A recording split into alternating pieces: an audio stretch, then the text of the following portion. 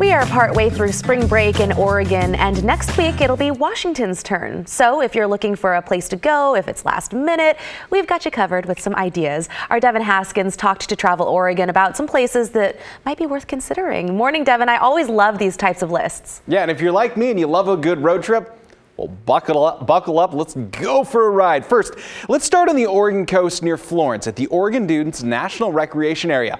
How fun does that look to go rent a uh, dune buggy or a sandboard, explore 40 miles of sand dunes from Florence to Coos Bay? Or if you want to stay indoors, just up Highway 101 or the Sea Lion Caves. They're America's largest sea cave and a place where you can hear and see the sea lions up close. And if you've ever heard them over on the coast, you know how loud they can be. All right, next, number two, let's head to southern Oregon to the Klamath Falls area. If Crater Lake is on your list, an hour south of there is the Crater Lake Zip Line. You can soar across nine zip lines from 100 feet above with views of surrounding lakes and Cascade Mountains.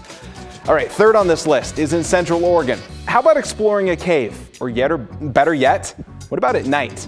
Wanderlust Tours offers cave tours during the day, but starting next week, they begin their starlight tours. You'll spend a couple hours underground with a tour guide, and then if the sky is clear, you can emerge to a starry night. Number four takes us to the John Day River Territory. Don't forget to visit the Painted Hills, which of course is one of Oregon's seven wonders. And then take the kids fossil digging behind Wheeler High School in Fossil, Oregon. And number five, if you're a fan of Yellowstone or you're like me, remember the movie City Slickers, you know, the one with Billy Crystal, then check out Wilson Ranches retreat in Fossil. Bring the boots and cowboy hats and spend a day or night on the ranch. The ranch covers more than 20,000 acres, and once there, you'll get the chance to ride horseback and spend time working the ranch and even driving cattle. It's kid friendly too. All right, after working the ranch for the day, of course, it's time to relax, kick the feet up. Out in southeastern Oregon, there's the Alvord Hot Springs near the resort near Steens Mountain.